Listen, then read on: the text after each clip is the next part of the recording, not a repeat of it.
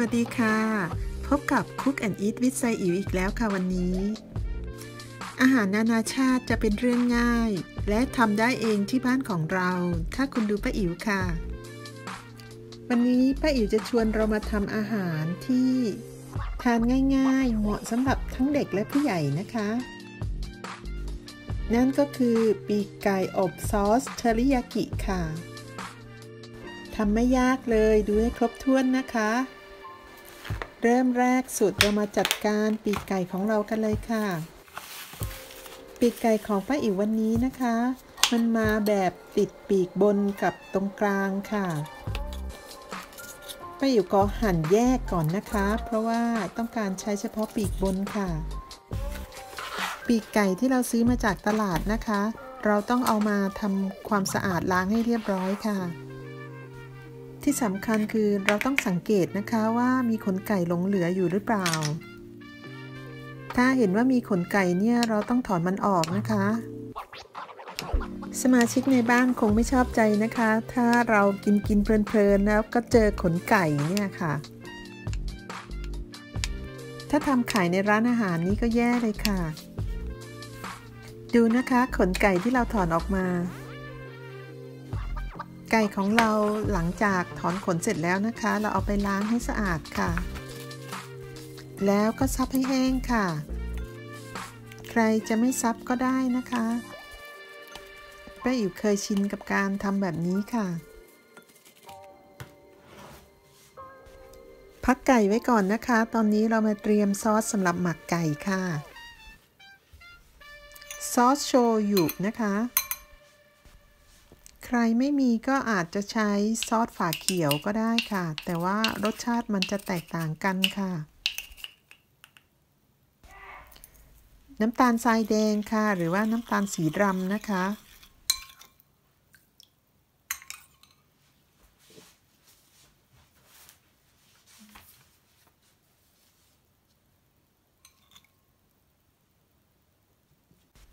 มิรินค่ะ หรือว่าเหล้าหวานของญี่ปุ่นนะคะ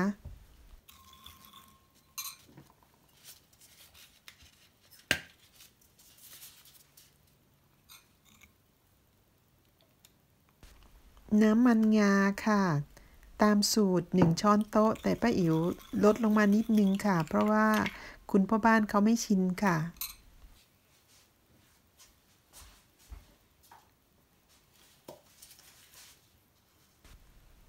อบใส่พริกป่นเล็กน้อยนะคะ เพื่อดึงรสชาติให้มันเข้มขึ้นค่ะ ใครจะไม่ใส่หรือใส่เยอะกว่านี้ก็ได้นะคะ และก็มีงาขาวคั่ว เราจะเอาไว้โรยตอนอบเสร็จค่ะ คนทุกอย่างที่เป็นซอสให้เข้ากันนะคะ ให้น้ำตาลละลายค่ะ ซอสของเรานะคะ เอามาเทใส่ชิ้นไก่ค่ะ คลุกเคล้าส่วนผสมทั้งหมดให้เข้ากันนะคะ ใครถนัดมือก็ใช้มือค่ะ แต่ป้าอิ๋วขอใช้ช้อนค่ะ วันนี้เพราะว่าขี้เกียจล้างถุงมือค่ะ เสร็จแล้วเราจะหมักซอสกับไก่ไว้สักครึ่งชั่วโมงนะคะ เก็บไว้ในตู้เย็นค่ะ วันนี้คุณพ่อบ้านไปตัดหญ้านะคะ แล้วก็ตัดกิ่งของผักเคลของป้าอิ๋วหักมากิ่งหนึ่ง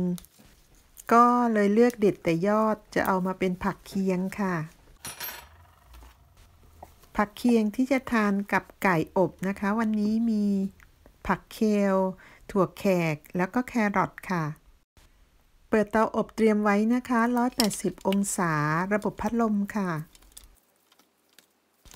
ระหว่างที่เราวอร์มเตาอบนะคะ เรามาจัดการผักเคียงของเราค่ะ ใครจะหั่นแบบไหนก็ได้นะคะ แครอทแต่ป้าอิ๋วขอหั่นแบบนี้ค่ะ เป็นชิ้นใหญ่ ๆ บนโต๊ะอาหารมีมีดวางอยู่แล้วค่ะ เลยชิ้นใหญ่ ๆ ได้นะคะ ผัก ตอนนี้เตาอบเราวอร์มได้ที่แล้ว เอาไก่ลงในถาดอบเลยค่ะ ไม่ต้องทาอะไรเลยนะคะ ใส่ไปเฉยๆอย่างนี้เลยค่ะ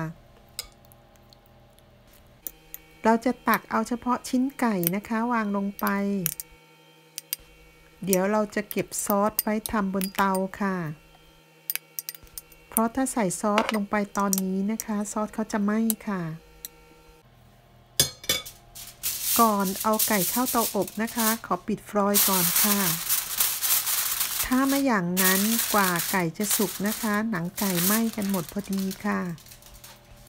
เราจะอบทั้งหมด 35 นาทีนะคะ แต่ว่าเมื่อผ่านไป 25 นาทีเราจะเอาฟลอยออกค่ะ ตอนนี้เรามาเตรียมน้ำซอสนะคะ ใช้น้ำซุปไก่ค่ะ ละลายแป้งข้าวโพดหรือว่าแป้งมัน หรือถ้าใครอยู่เยอรมันเราใช้แป้งที่เรียกว่า s p i c e Stark ก็ได้ค่ะ คนให้แป้งมันละลายกับน้ำซุปไก่นะคะ แล้วก็ใส่ซอสที่เหลือจากการหมักไก่ลงไปค่ะ ถ้าใครดูป้าอิ๋วหลาย ๆ คลิปจะสังเกตว่าป้าอิ๋วจะเตรียมซอสทุกอย่างก่อนที่จะอยู่หน้าเตานะคะ พื่อไม่ให้ของที่เรากำลังตั้งไฟอยู่ไหม้ แล้วก็บางครั้งเราก็ลุกลี้ลุกลนหาของไม่เจอด้วยค่ะ ระหว่างที่รอไก่อบนะคะ เราทำทุกอย่างให้เสร็จก่อนค่ะ ตอนนี้เรามาต้มผักค่ะ น้ำเดือดนะคะ ใส่เกลือเล็กน้อย แล้วก็ใส่แครอทลงไปก่อนค่ะ